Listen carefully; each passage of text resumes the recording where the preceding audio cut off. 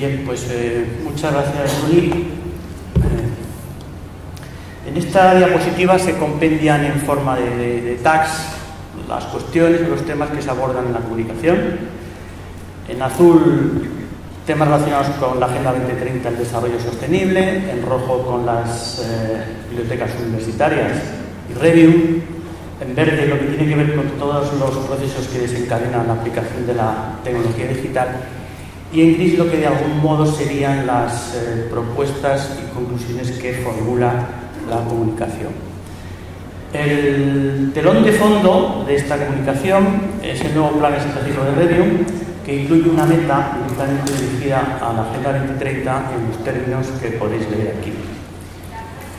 Como primera fórmula para empezar a avanzar en esa meta, el grupo de trabajo que se dedica a, a, desarrollar esta meta, que es la, línea 4 en la cual yo estoy presente, eh, pues eh, decimos elaborar una guía de acción, de la que se habló ayer, quiero recordar, y presentar ante la asamblea del año pasado de, de.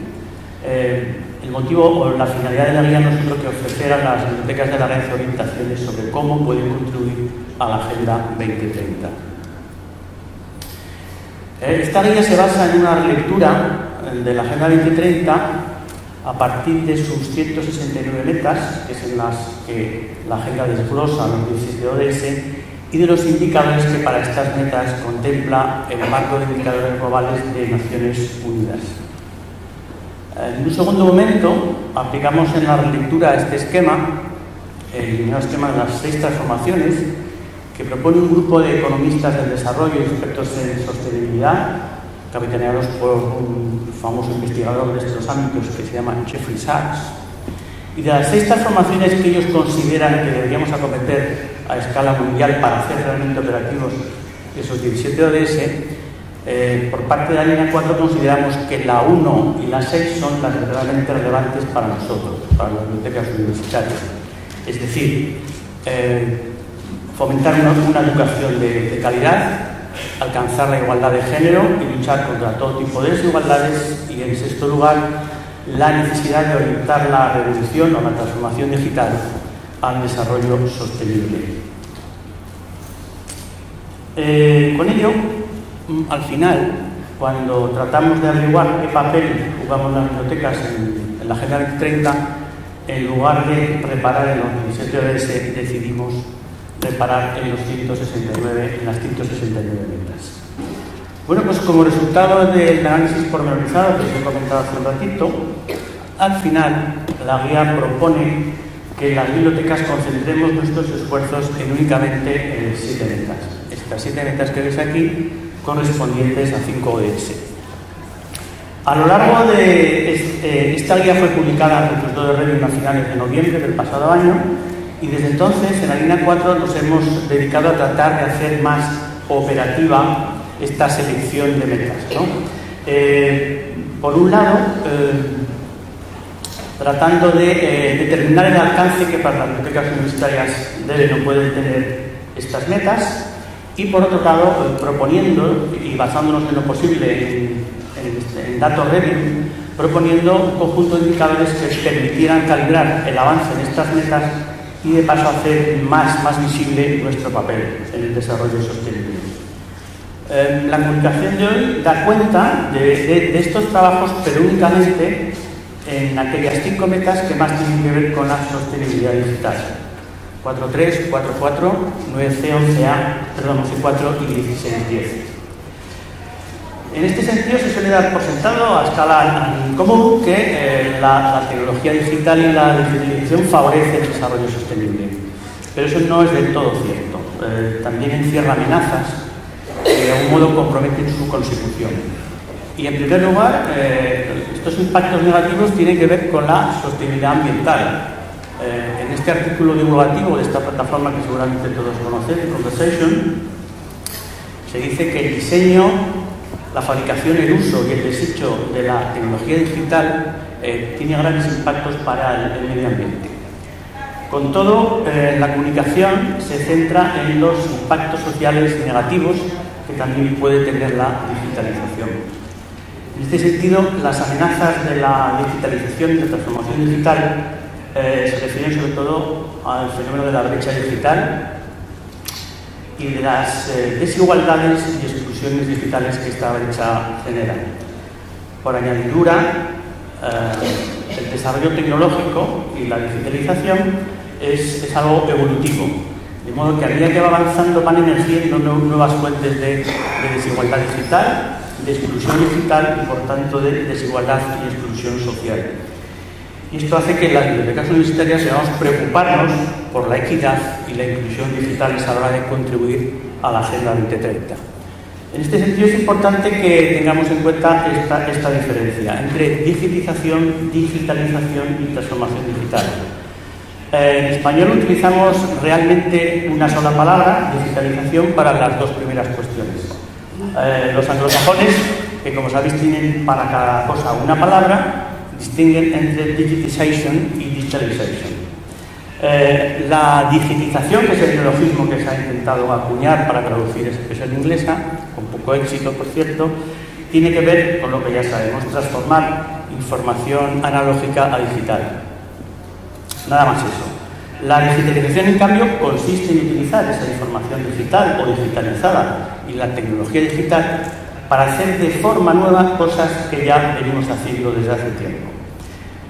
La transformación digital es un paso más, porque ya no solo se trata de hacer cosas nuevas, perdón, cosas de formas nuevas gracias a la tecnología, sino de hacer cosas nuevas, hacer cosas nuevas de formas nuevas. En este sentido se afirma que la transformación digital va más allá de la, de la tecnología, porque conlleva cambios organizativos, humanos y culturales que modifican la identidad de las organizaciones, de las sociedades y por tanto también de las bibliotecas. Pues bien, desde esta perspectiva de hacer cosas nuevas, de formas nuevas, las bibliotecas universitarias deberíamos tratar de amoldar nuestros procesos de digitalización y transformación digital a los planteamientos de la Agenda 2030. Es decir, deberíamos preocuparnos por la sostenibilidad digital como nueva forma de enfocar nuestra actividad.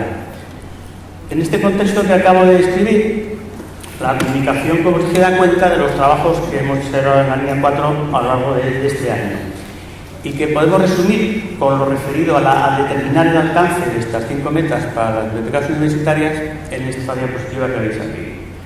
Los recursos educativos abiertos como fórmula de contribuir a la meta 4.3, las competencias digitales como principal competencia técnica y profesional relativa a la meta 4.4, la asequibilidad de los dispositivos de acceso a Internet gracias a su préstamo como eh, alcance de la meta 9C, la digitalización y acceso abierto al patrimonio bibliográfico que tenemos a nuestro cargo dentro de la meta 11.4 y por último el acceso abierto a la información científica a través de repositorios en respuesta a la meta 16.10.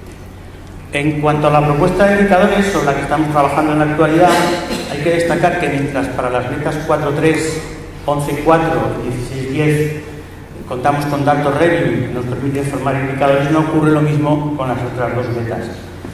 Así para esto nos va a obligar a, pedir a Review que recopile otros datos además de los que ya eh, recogemos. Para la meta 4.4 estamos valorando un indicador que mida la participación de nuestros estudiantes en los cursos de competencias digitales que impartimos en las bibliotecas. Para la meta 9C, partiendo del préstamo de dispositivos electrónicos como fórmula para facilitar la accesibilidad del acceso a Internet, barajamos un indicador que relacione el volumen de préstamos de los dispositivos con el número de estudiantes a los que servimos en las bibliotecas de las universidades. Ya para acabar, a medio camino entre conclusiones y fundamentaciones, eh, destacar que desde la línea 4 de Review creemos que es imprescindible que las bibliotecas universitarias españolas tengamos una visión compartida sobre nuestra contribución a la Agenda 2030. Y esa visión compartida, esa visión común, eh, debe responder al llamamiento que hizo Brida, en este informe, a las bibliotecas europeas, eh, para, por un lado, seamos capaces de desterrar los cuatro falsos mitos que, rodean a la, a la contribución bibliotecaria a la Agenda 2030, que veis aquí. No es un tema meramente medioambiental, no es una cuestión de grandes políticas de los gobiernos de carácter eh, fiscal o, legislativa. Otro falso mito es que los ODS no forman parte de nuestras misiones y el, último mito que es el que solemos incurrir casi todos, en el que esto al final se trata de hacer pequeñas cositas en nuestra biblioteca con carácter básicamente demostrativo. Estos son los cuatro mitos contra los que tenemos que luchar a la hora de contribuir a las, en las bibliotecas a la agenda biblioteca. Y hace un segundo llamamiento en respuesta a estos, pues, cuatro mitos que nos emplaza a abordar políticas, ellos los llaman, eh, perdón, ellos los llaman narrativas, narrativas avanzadas, yo les llamaría ambiciosas, de políticas indicadores. Y esto es lo que en definitiva eh, proponemos desde la línea 4 esta, narrativa, como os acabo de exponer, en lo que a la digitalización se refiere, se, basa en tres ideas. Eh, el acceso abierto, incluyendo ahí los recursos educativos abiertos, las competencias digitales y, por último, preocuparnos por la equidad y la inclusión digitales. Y ya acabo con un mensaje final que me gustaría que recordarles. Si las bibliotecas universitarias pretendemos contribuir al desarrollo sostenible, deberíamos preocuparnos de que nuestra propia digitalización y nuestra transformación digital no solo no menoscabe los ODS y sus metas, sino que favorezca su consecución. Muchas gracias por vuestra atención.